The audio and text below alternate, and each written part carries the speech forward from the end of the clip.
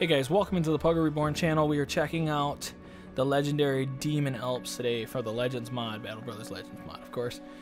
Um, there is some very nasty things in this game in terms of the legendary beasts, as you can see kind of the category running down the list here.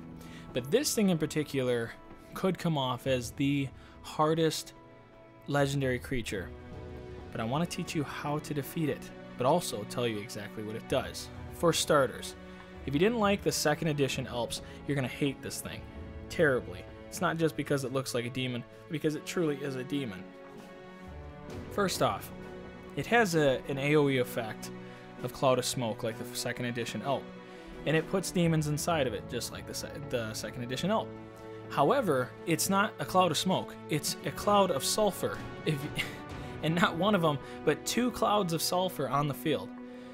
We will have the gameplay in just a second, but I want you to understand that it does two clouds of sulfur. It summons four demons within the cloud. One of these things can do that each turn. They can also put more sulfur on the field every turn. Yeah, if you're in that cloud, you're in trouble. And if you're facing four to six of these things, the whole field is covered. All right, so you need to be prepared for that. Now, let's say, ah, I got to figure it out. I'm going to get to the demon alp quicker than probably you could. Well, I'm proud of you. Very good job. Uh, there are perks for this, especially in the Legends mod. But in terms of this beast, if you get close enough to it, it will scream. It has the Geist Scream ability. So if you're right on it and you're hitting it, you better have the resolve to get up on it. Because if you don't, it'll try to run. You will try to run. And when your guys run and die, well, the damage you did to this thing doesn't really matter because it'll hover over the body and use the, the ability Devour, which the Nebbers, or the Nebuchadnezzars, or whatever you want to call them, they're the Nai, whatever they're called. We call them Nebbers.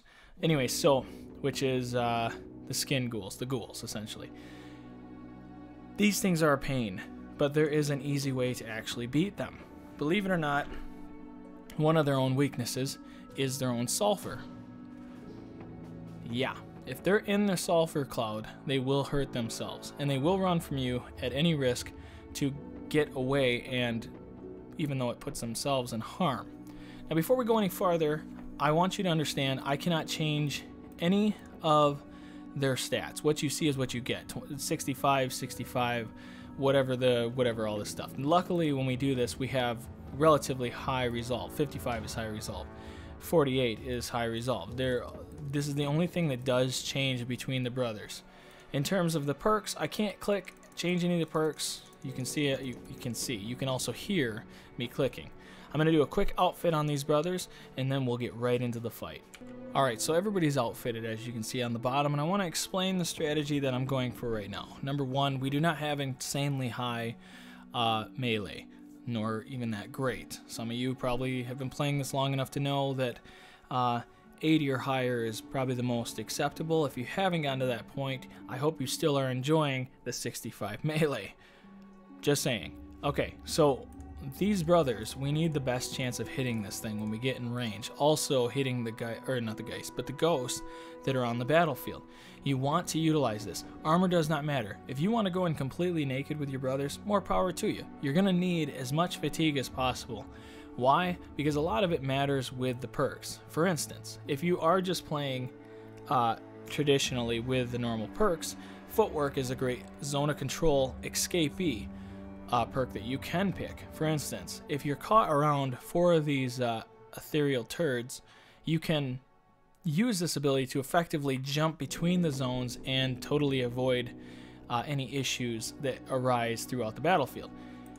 Also, when you are using a certain weapon, masteries help a little bit, right? Not not crazy, but there is a uh, one perk that you can get from the Legends mod that I must stress. It's freedom of movement. Literally, when you activate it, you can run into any zone you want to and not have to get hit. Think about it.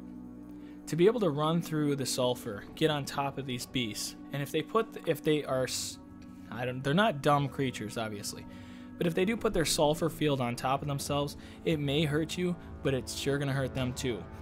Bleeding weapons are great against this thing. We aren't using bleeding weapons, but if we wanted to, we could. It's just we want the best chance to hit this thing. They suck against bleeding. I just want to get that out there. It's huge. you want to utilize whips. If it was up to me, I would have every single one of these brothers with whips, and we would demolish this run. It wouldn't even be uh, a question because within three tiles away, they don't exactly have to run from you. They don't feel like they have to run away from you. They might scream, but it it dies off. Their morale check kind of dies off from a distance. So let's jump in. Without further ado, he spawned three. okay, so this is pretty unique actually. I feel like I don't see this often enough. Or often enough. I don't feel like I see this. Alright, we cannot jump that way. So we're going to have to go the long way around. As for these guys, they're going to take damage either way. But to have those, to have the ability to jump through the field would be nice. What are you doing? Some reason the game logic tells you, let's go right through the sulfur. Not exactly the best thing in the world. Okay, we're just to miss a few of those, no big deal. Very good. Now, one other thing I've noticed when I do these strategies too is to avoid... You can simply avoid a lot of this stuff by spreading guys out. Spreading them out probably will be the best case for you. Now, I want you to understand too, now that our archer's up high and shooting down at this, this demon, you can't... They, they have really good range defense. So don't expect just constant range to be your ally. Will it help? Oh, most definitely. There we go. At least we freed up the one brother. Now we're up on it. We'll get up high and still miss. So we had a 58% chance at a higher elevation. I think that's like 48 is what we would have normally had. Again, spreading your brothers out. Probably the way to do it. I don't find that the pole arms are the best case in this type of playthrough. And the reason being is because you you simply do not have the luxury. Oh, let's keep. You don't have uh, the luxury of hitting multiple times. As you can see, if you don't kill the demons, they stay on the field. Yeah, you are dead, and you sound for for a lady. That was quite the grunt. All right. Okay, so as you can see, one shot with the boar spear put out about an eighth, less than an eighth. Oh, more than an eighth. Probably uh, one seventh, one sixth, a sixth of the health. I don't know, something along those lines. But you do see that there is some good damage still being put out, providing you can actually hit the turd. Now, we move in. We should. This should be a fairly easy kill here.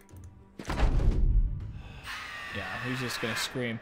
And, I, and there it goes. See, now he, he has put himself in mortal danger. Actually, let's get one more farther. Nope, we are gonna hit him. You, ma'am, need to move forward. No. And definitely death is coming here. And, okay, for some reason the game like glitches out when we play this scenario, but I've already killed this thing. And all we did was spread our brothers out, but look how much how much area of effect it was able to put the sulfur down on the field. Now, you need to understand, you're not going to go on a quest to take on just one of these things. Usually it's anywhere, it could be, I don't know, it could be two to, let's say, 10 of these things. Yeah, this is nuts. The whole battlefield. I mean, we had one more of these things in here. We had to have to split up our groups and go opposite directions while having four of these things going at you. Not exactly uh, the most fun fight you could ever have. However, your advantage is whips. Your advantage is freedom of movement. Your advantage is uh, footwork.